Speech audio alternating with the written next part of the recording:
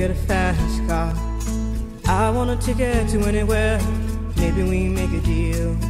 Tracy Maybe Chapman. we can get somewhere. Can you do your Tracy Chapman again? But it did no better. Gonna be together. We're gonna make it different. Tracy Chapman and the guitars again.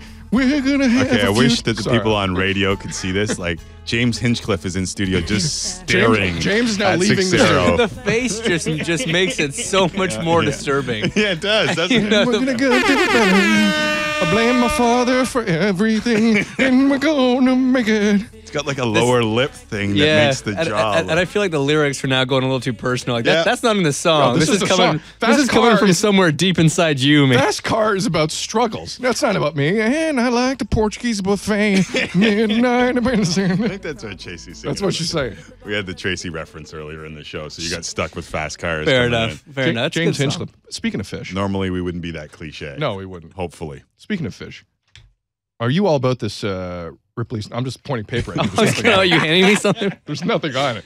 Am I allowed about what? The um, okay, so there's an aquarium Yes. happening downtown Toronto. There is. Ripley's Believe It or Not Aquarium. So obviously that's You, the name. You've of it. heard of this? I have. Have they asked you Oh. to do anything for it? They have not. Okay. I have Because we no. don't want to ruin a sponsorship Yeah. for you. No. Because he's going to rip on it now. All right, go All for right. it. I think I my personal stance on aquariums are they're they're just kind of ridiculous. Fundamentally against they're aquariums. fun. I'm I'm I'm I have a thing against aquariums. More or less hatred than Environment Canada, Oh, which was our last. The last time I was here, there was a read about you Environment you Canada. cut to the core, me Hinchcliffe. That's- that is oh, that's right. Because when when James came in, didn't we have like a hurricane? and No, yeah, it was the minutes flood. warning? Like the whole city was flooded. Oh, and the there was like a, a a probability of rain or something. You know, there was like a. Environment a Canada rain- just- just storm issu- warning. Environment Canada issues a warning. Hey, could be something. So wait, so what's wrong with uh, so what's wrong with the Ripley's Aquarium? What's going on? Oh, There's just like a lot. First off, it's thirty bucks. Come on, That's For that's fish. steep. That's steep. I mean, sushi, yeah, go but to Long John Silver's. I clean up. Yeah. for twenty. there you go. Are you kidding me? Absolutely. Anyway, Oh my goodness, he This doesn't is have why I like James so he, studio. he doesn't have any idea of what people do to entertain their kids. Right. And, and Kids I like think it- aquariums. yeah, they That's like a to look at. kids, aquarium. kids TV on demand now. Hello. Imagine if, you had, imagine if you had three kids and had to go. That's like it's an expensive day. It is an expensive day. 150 Thank bucks. you. But hold on a second. Wow, look at that swordfish. There are ba- not that you know anything about this either, but there are very nice bachelor pads that use aquariums very well. As Yeah, it's true. I, I saw Deuce Bigalow. yep, Yep. bingo. See, I get it. See? I, I'm picking up your laying down, man. See, I was thinking of who was the soccer player who built a three-floor aquarium? Oh my god. Dwayne, Dwayne DeRosario. no, it wasn't. No, it wasn't him. It wasn't It him. might have been Thierry Henry. Oh, Built Thierry Henry did, yeah, built yeah. a three-floor aquarium Yeah. in his apartment. I mean, you could drown a guy in that. That's got a it's got a double purpose that's- too. You could take care of some problems. Never You're trust a dark, guy with a three-floor Right? aquarium because if you piss him off, you may end up it's in it. season three of The Sopranos. He's not going to drown you in a in a 12 by 24 you can't. inch kind of. I can get out of that situation. No. that's like a toilet. It is confirmed. It is Thierry Henry, forty-foot high aquarium in his house. Wow. Hashtag Arsenal. James Hinchcliffe in studio. But Um, that's not car racing that we're Hashtag talking No, that's not- So we went. you can. Let's let, let's go car racing. Yeah. Uh, season's winding down. You're coming off again the the back to back races. Yes. Which was the deal with the Indy here. Correct. In Houston. Um, we're, we're- as we're winding down, describe your season in a word. How would you describe it? Roller coaster. Is that one word? That's one word, right? Technically, it's We'll one make word. it one word. Yeah. That's one word. Well, It's a compound. We'll throw in an X on Tegu and we'll make it one. Hyphenated.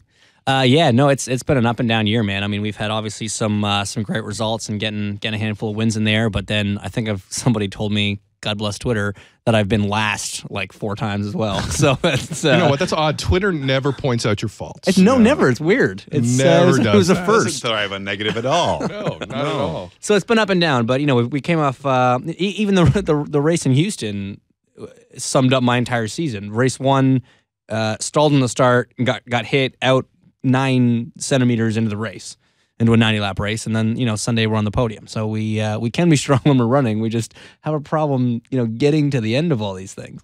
Do the do the W's plural wins plural? Does that like does that? I know roller coaster doesn't denote that you're taking the next step, but do you feel like you've taken the next step in your career with a few of those wins?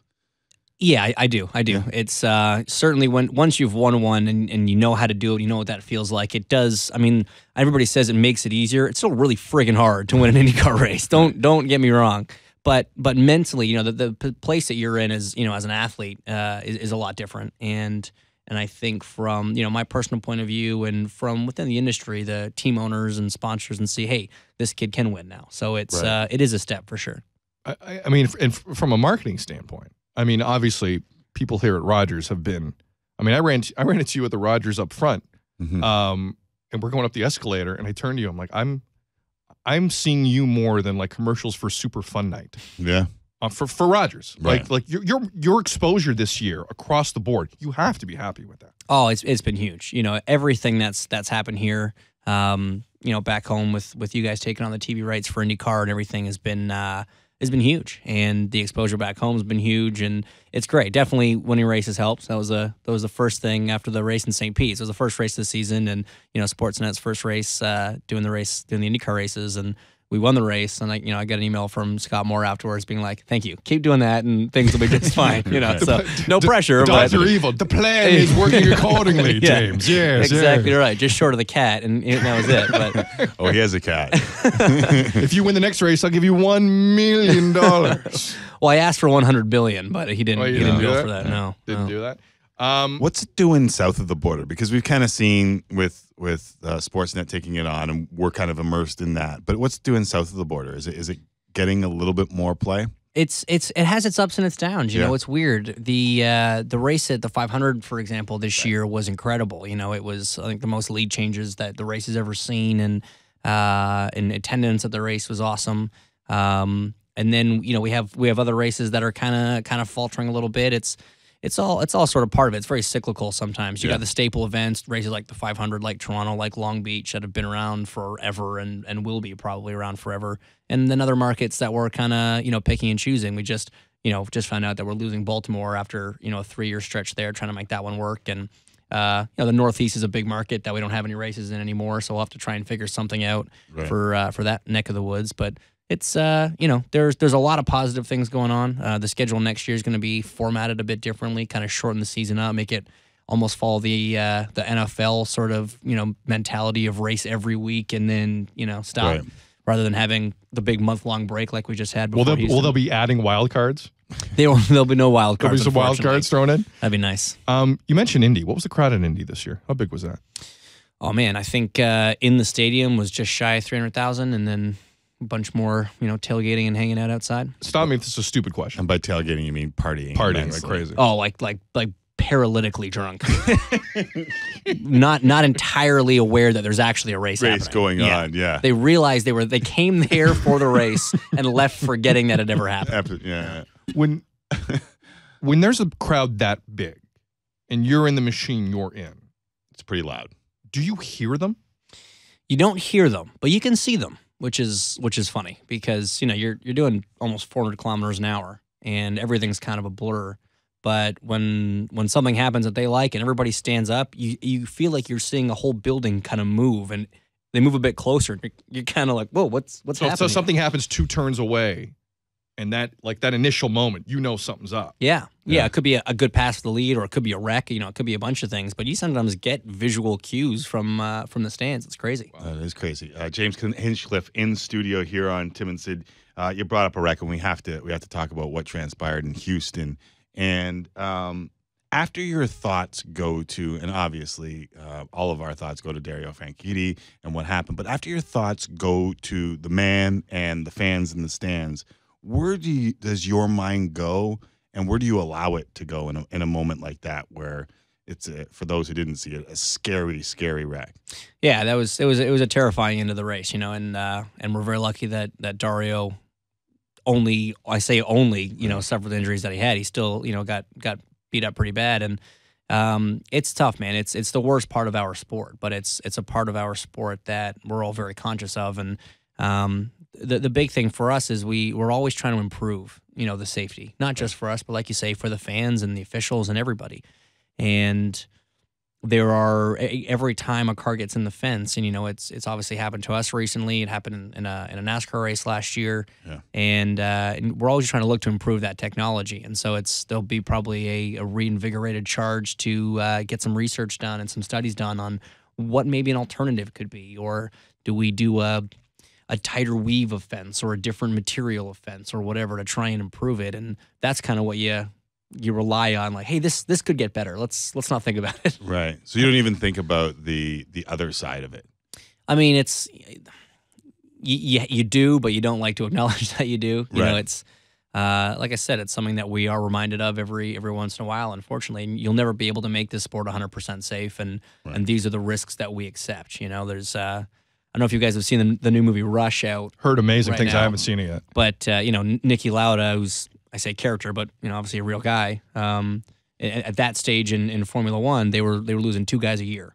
Yeah. And so he's like, you got you got a twenty percent chance and not walking away from this deal, and that's the amount of risk I'm willing to take, and not one percent more. And we're very very lucky that nowadays that that risk is significantly lower. Yeah. What Yeah. what incident um, gave you most pause for thought about what you do for a living? Or any. Well, I mean, you, you could go all the way back to when Greg Moore was killed. Yeah. I, I wasn't even, I mean, I was racing go karts at the time, but I knew that I wanted to be an IndyCar driver, and Greg's my hero, and, and your hero gets killed doing what you want to do. It's, I mean, that's for a 12 year old kid, that was a, a pretty profound moment. Um, and then obviously, you know, what happened in Vegas last year, sorry, in 2011 was, uh, was very big because that was something that I was part of. And, um, it's, it's, it's real tough, man. It's, it's a very tough thing to accept, but I think all of us have some kind of screw loose, and we still decide to, you know, strap in and uh, and see what we can do on on race day. And it's not just, you know, for those listening, it's not just your sport. I mean, every time a guy steps on the ice to play hockey, um, he's assuming a risk, knowing that with, you know, knives basically strapped to his feet, that there's a anytime a football player steps on the field, people die playing football. And, Yeah. and, and We- those things happen. And we're hearing a lot about the long term effects of all these Right. micro concussions in football Right. at the minute. And so yeah, it's yeah, it is. It's it's any sport. You're right. Um, we just racing's developed to the point where y- you get a lot of injuries in other sports. Yeah. There's not a lot of injuries in racing. Right. You know, There's obviously, there's no gray, is what Right. you're telling me. I mean, like you know, Dario's deal, he he got away with injuries, Yeah. but it's a lot of times it's kind of all or nothing. yeah. Um, It's James Hinchcliffe. fascinating It to is me fascinating. For, yeah. you know, a human mind to do what it does to allow you to do what you Like do. I said, it's not all Yeah. there. I think that's the that's the key point. No, I know. It's missing a fundamental survival instinct. I think. Uh, one of the things that you use to protect yourself, I know that you guys did something on on uh, Hinchtown.com that's really cool, and uh, it's a redesign of your helmet or a design for your helmet. Where are you on that? And has a fan actually designed your helmet? Yes. So uh, yeah, the the Hinchtown the Hinch helmet design contest, and it was uh, a chance for fans to design the helmet that I'll wear for the final race in Fontana uh, in next week, couple weeks, two Couple- weekends, couple October 19th, couple weeks. yeah. And uh, yeah, we had uh, we had six finalists, and the fans all got to vote. And it was actually uh, a guy from Oakville. I mean, we had we had submissions Texas, from yeah. Rigged. Europe. all- Rigged.